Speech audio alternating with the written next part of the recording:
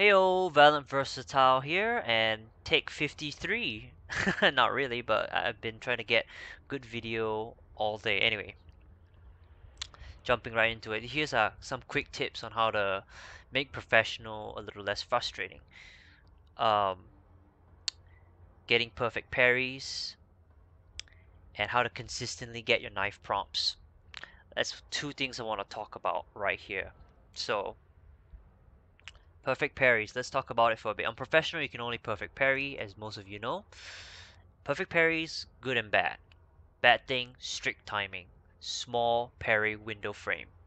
Alright? And then, but when you perfect parry it, an enemy, you always guarantee a stagger.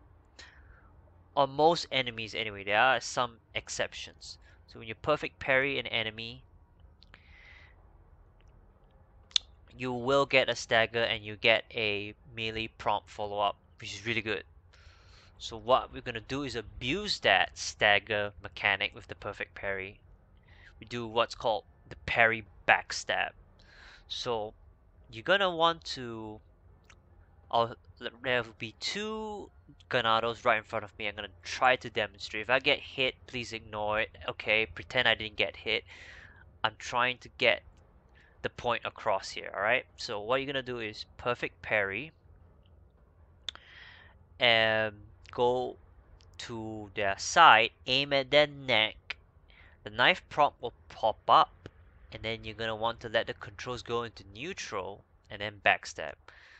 So what I mean is that once you hit the perfect parry run to their side you don't have to go all the way behind them to backstab them. You just need to run to the side, aim at their neck. That's where you're gonna get the knife prompt to light up, the symbol to light up behind them. Go to neutral, meaning let go of all inputs, and then press the knife prompt button, the knife attack button. I set up my overlay on the right, and I'm going to put it into the motion now. So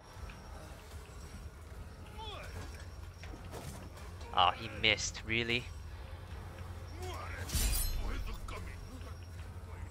Right there, you see it? Parry, backstab. Parry, backstab. There. Okay, so we just did, see, two back-to-back -back parry backstabs. Very cons very consistently. So you can abuse parry backstabs a lot on your professional run. And it's very consistent. See my overlay on the right side? You can slow down the YouTube video to get a good sense of that. So I'm so glad I got it on video and capture and show you. You can get consistent knife prompts very, very consistently. So what are the benefits to doing that?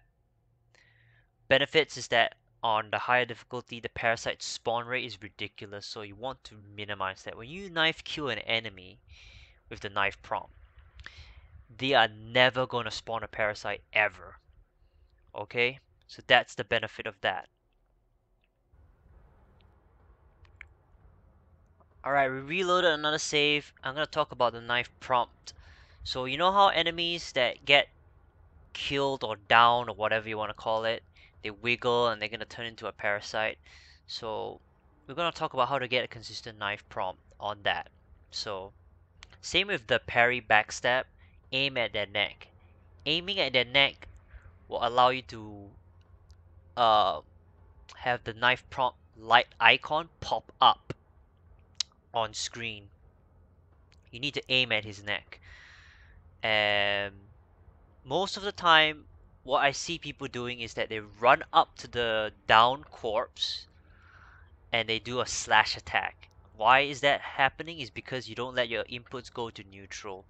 If you run over all the way to his body, aim at his neck, and press the knife prompt, you definitely get it more often than not. You need to aim at his neck, and then you can get vacuumed into the animation. And let me get rid of this pitchfork guy real quick and then uh, kill the sickle guy and I'll show you what I mean. Alright, we're gonna kick this guy. He's gonna turn right, run up to him, Then it goes to neutral. and aim at his neck and press the knife prompt. See on my overlay, I ran back a little bit and then ran ran back to him. You saw that, right? So if you want to do that, um, like let's say, yeah, you kick him or you shot him and he died down there.